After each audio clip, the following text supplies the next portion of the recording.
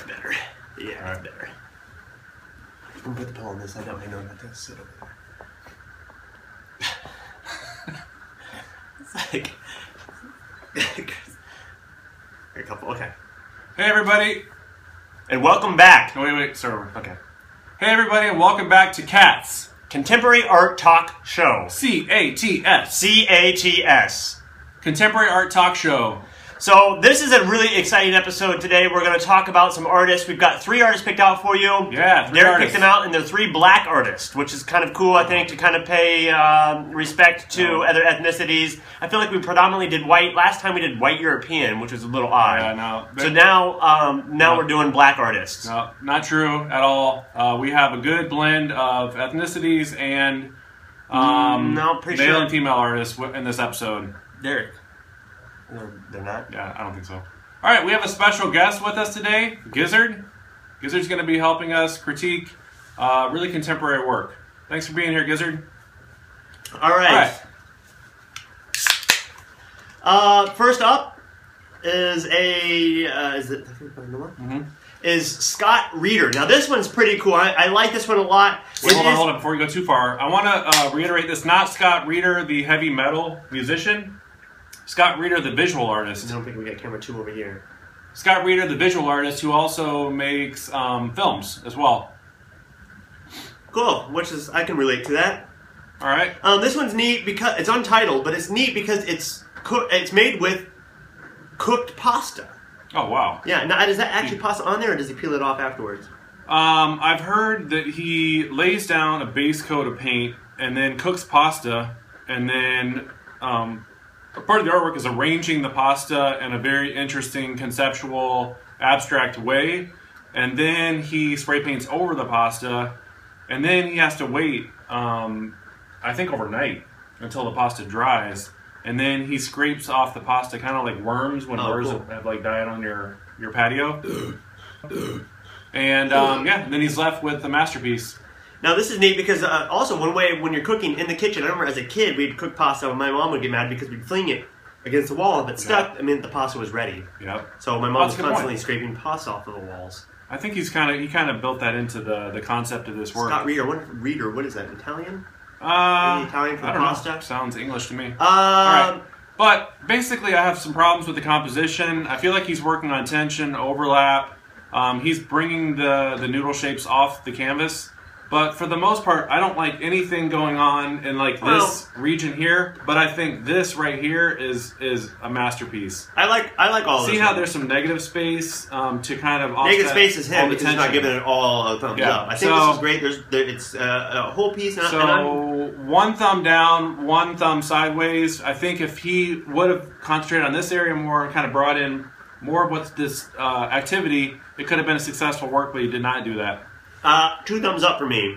So that's three out of four. That's not bad. It's not bad. Well, I had one sideways. So Three. it's two and a half.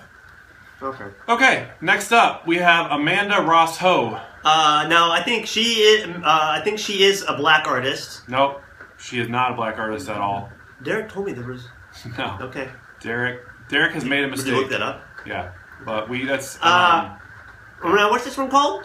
I like this piece. This is, This is called Eraser Shield.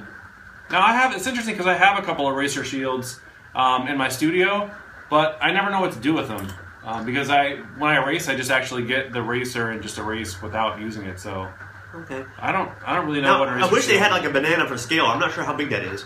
It's it's actually sizable. It's 40 inches by 28 inches. Oh, wow. I That's don't know big. this- I don't know what- for the Europeans watching it. I don't know what that means for centimeters. Yeah, that's huge. Around 101 centimeters, I think.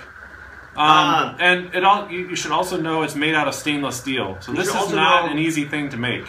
This is this is a perfect day to look at art. It's raining outside. It's kind of overcast. It's a great day to sit inside to watch this video and maybe to watch some art, uh, some new art and learn a little with Yeah. us.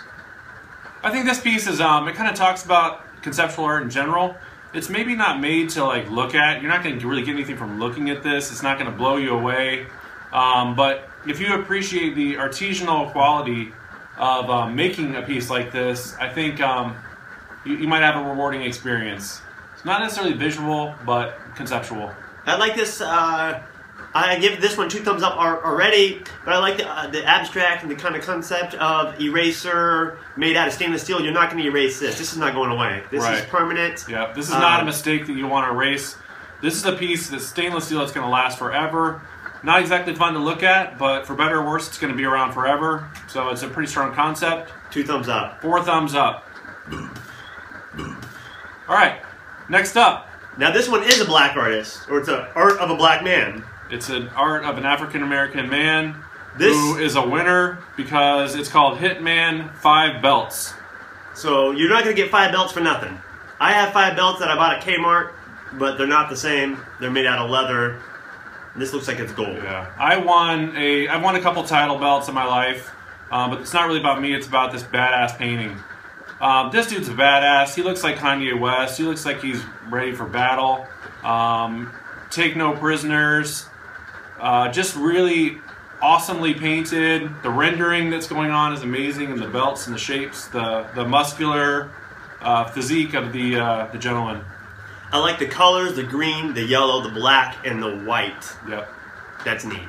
One thing I learned though in my two-dimensional design class at, that I took at a community college is you're never to make an island, an island uh, drawing or painting. So that's kind of one thing I don't like about this is all the activity is Oh. centered in the middle, Uh-huh. and you're not activating the negative space around the figure. So, I mean, personally, I would put lightning bolts or uh, you know some activity All right. Like a building being demolished in the background to like Could you pick up your dog? yeah no because Just get yeah, him. just Just pick him up. Chris, Hang on. get him he off me. You. He likes you. He likes you. All right. Go Hi. Gizzard. All right, so uh, I give this one two thumbs up for sure. Jay does the same. Yeah, two thumbs up. Jonas Wood. Hitman, five belts. I am allergic to wants stay with dogs. you. Yeah, he wants to stay with you. Uh uh It's gonna. All right, My eyes are showing. Gizzard, water. sit.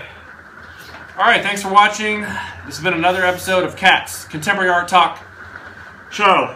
I gotta sneeze. Oh, come on. Oh, you have allergies, right? I'm I should take them away from you.